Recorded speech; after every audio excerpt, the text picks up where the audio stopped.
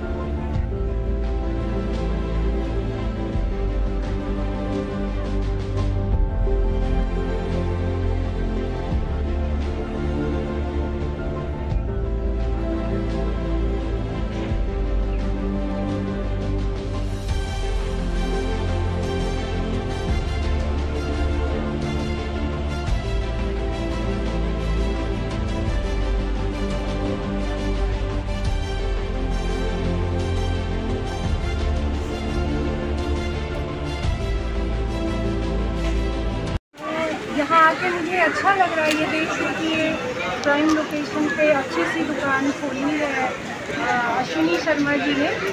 और उन्होंने रिक्वेस्ट की थी आने के लिए, आज बड़ा शुभ दिन है और मुझे अच्छा लगा। बहुत साल पहले मैं भी इस इलाके में रह चुकी बहुत साल पहले, बीस तीस साल पहले। तो मुझे आना पड़ा और इस जगह का मुझे लोकेशन बहुत अच्छा लगा। और ये भी देख रही हूँ कि ऑलमोस्ट सारी चीज़ें यूटिलिटी की इन्होंने रखी है यहाँ पे। तो लोगों को बहुत फ़ायदा होगा इससे, मेरे ख्याल से, इस इलाके के लोगों के लिए बहुत सहूलियत हो गई। यहाँ पे जो सुपर मार्केट का आज जो उद्घाटन हुआ है तो मैं यहाँ के सभी लोगों से ये अपील करती हूँ कि यहाँ पर जब आप लोग आएँगे, इन आपको यहाँ पे हर एक वैरायटी मिलेगी। जो भी आपको लेना होगा, वो आपको हर चीज़ यहाँ पे अवेलेबल होगी। और यहाँ पे जो इस मार्केट के दाम है, वो भी बिल्कुल जेनुअन है।